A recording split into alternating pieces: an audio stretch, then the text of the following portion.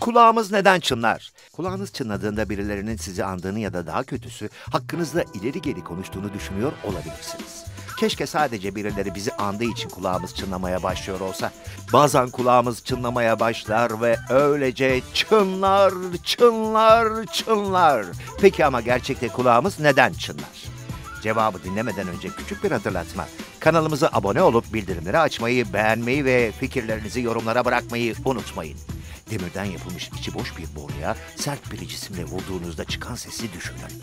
Bu ses dalga dalga ortama yayılır ve nesnelere çarparak varlığını sürdürür. Siz ve ortamdaki tüm diğer insanlar bu sesi duyabilirsiniz. Bazen buna benzer bir sesin kulağınızın içinde oluştuğu ve bu sesi sizden başka hiç kimsenin duymadığı anlar vardır. Bazen birkaç saniye, bazen dakikalar, hatta saatlerce devam eden bu şey kulak çınlamasıdır. Ve hayır, birileri sizden bahsettiği için oluşmaz. Normal şartlarda ses kulak kepçesiyle toparlanıp kulak kanalına iletilir.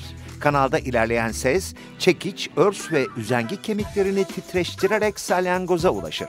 Salyangozun içerisindeki sıvı titreşmeye başladığında ise içerisinde bulunan tüy reseptörler sayesinde beyne sinyaller ileterek sesin algılanmasını sağlar. Kulak çınlaması ise salyangoz yapısında sesin kendiliğinden üretilmesiyle oluşur. Beyin kendisine iletilen mesajı ses olarak algılasa da aslında duyulan şey dış ortamda oluşan bir ses değil, kulak iç sesidir. Kulak çınlaması kulak içerisinde oluşan sesin beyin tarafından algılandığı anlarda duyulur. Yani aslında kulak bu iç sesi sürekli üretiyor olsa da biz sadece bazı anlarda algılarız. Kulak çınlamasının nedenleri ise oldukça çeşitlidir.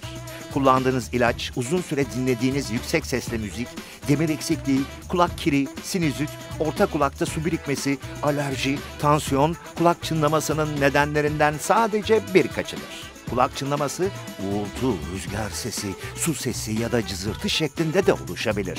Bu çınlama türlerinin her biri çınlamayı yaratan rahatsızlığa dair ipuçları verir. Başarılı bir tedaviyle bu problemden kurtulabileceğinizi de hatırlatalım. Dipnot, kulaklarımız sadece duymamızı değil aynı zamanda dengede durmamızı da sağlar. Yeni bölümleri kaçırmamak ve kanaldaki diğer videoları izlemek için abone olmayı unutmayın. Bilimle kalın.